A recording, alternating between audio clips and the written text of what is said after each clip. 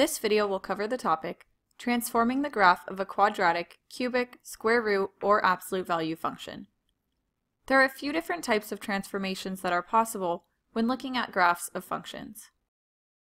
We can translate the graph horizontally or vertically, stretch or shrink the graph, and reflect the graph across an axis. How do we know when to do these transformations? We translate the graph horizontally or vertically if a constant is added or subtracted. We stretch or shrink the graph if a new coefficient is multiplied, and we reflect the graph across an axis if the coefficient is negated. I think I understand, but can we practice these rules? Let's take a look at the graph of y equals x cubed. Say we want to transform this graph to make the graph of y equals negative x minus 4 cubed plus 3. What operations have we performed on this function that make it different from our original function?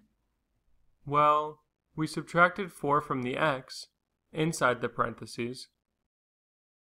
We also negated that quantity. And finally, we added 3 outside the parentheses. Good.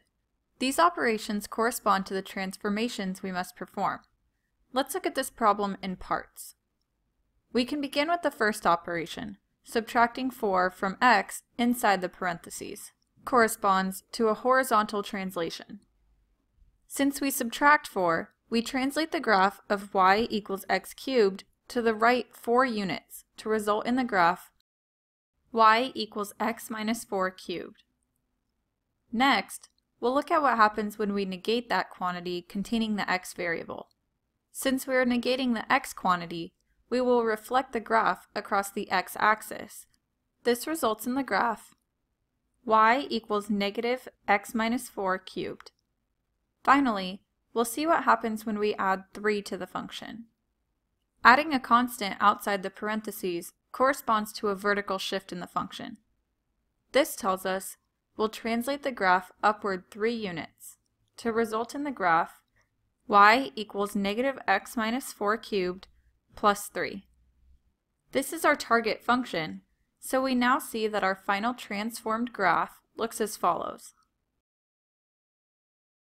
These rules for transforming graphs don't only apply to cubic functions like the one we have here. We can also use them when working with quadratic functions, square root functions, absolute value functions, and others.